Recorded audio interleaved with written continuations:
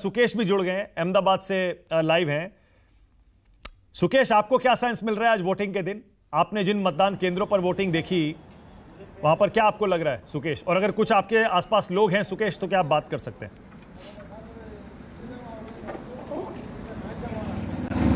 नहीं मानक मैं अहमदाबाद में हूँ। अहमदाबाद में वोटिंग पाँच तारीख को है।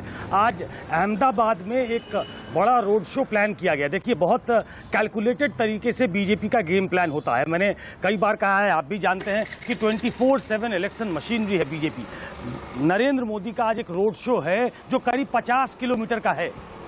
तो ये जो फाइनल असॉल्ट होता है, वो नरेंद्र मोदी की तरफ़ से है। करीब 14-15 विधानसभाओं से गुजरेगा, जिसमें एक गांधीनगर की विधानसभा की सीट है और 13-14 करीब अहमदाबाद की सीटें हैं। ये वो सीटें हैं, ये वो अर्बन सीटें हैं, ये वो इलाका है जो एक तरीके से बीजेपी ने अपना गढ़ बना लिया है। पिछली बार भी 21 में से 16 विधानसभाएँ यहाँ बीजेपी ने जीती थी। सूरत की 16 में से 15 जीती थी। वडोदरा की 10 में से आठ जीती थी। तो ये जो स्ट्रांग होल्ड है, उसको वो उसी तरीके से रखना चाहते हैं। नो स्टोन अनटर्न जो एक फ्रेज है, उसको उसको समझने की ज़रूरत है। बीजेपी का जो एफर्ट है उसमें कि ये जो उनका स्ट्रांग इलाका है, वो भी इधर उधर न हो जाए। इसलिए प्रधानमंत्री जिन्होंने अपने आप को गुजरात की अस्मिता से जोड़ दिया है, वो प्रधानमंत्री जो अभी भी यहाँ मुख्यमंत्री के तरीके से देखे जाते हैं कि हमारे प्रधानमंत्री गुजरात के बेटे हैं और ये पूरा मैंने एक दिन ट्वीट भी किया था, देखा होगा आपने कि प्रधानमंत्री, मैंने एक पान वाले से पूछा कि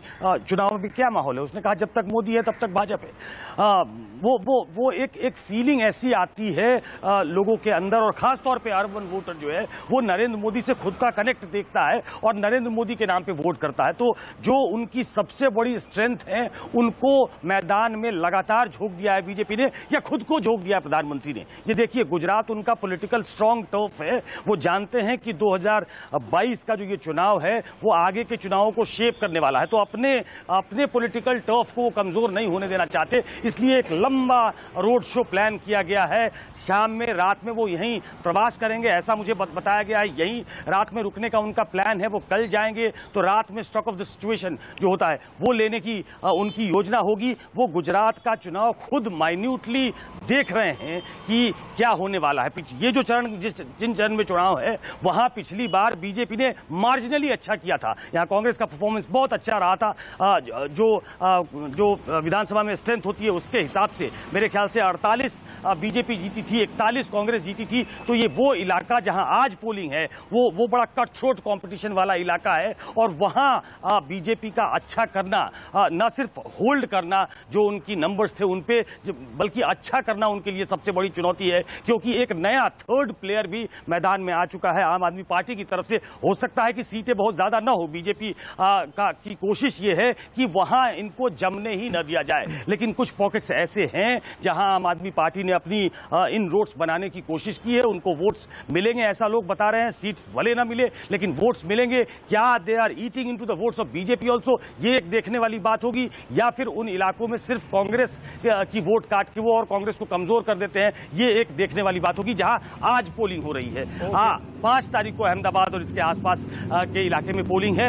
यहाँ मैं इसलिए हूँ क्योंकि नरेंद्र मोदी का रोड शो है मैं एक बार देखना चाहता हूँ कि इतना बड़ा लंबा रोड शो जो प्लान किया गया है वो प्लानिंग वो टैक्टफुल प्लानिंग लोगों के लिए क्या वही समर्थन है या जो जो जो आम शहरी है वो महँगाई से परेशान है और भी कुछ कुछ उसको परेशान कर रहा है क्या? ये फील लेने के लिए आज मैं अहमदाबाद ठीक है बहुत बढ़िया। सुकेश अहमदाबाद में है क्योंकि दूसरे चरण के लिए जो प्रचार अभियान है वो खुद नरेंद्र मोदी आज संभाल रहे हैं और रोड शो निकाल रहे हैं। और जैसा सुकेश कह रहे थे, देखिए स्ट्रैटेजी बीजेपी की जिस दिन पहले चरण का मतदान है, उसी दिन प्रधानमंत्री एक लंबा रोड शो निकालकर सबका ध्यान अपनी तरफ़ खींचने की कोशिश करें।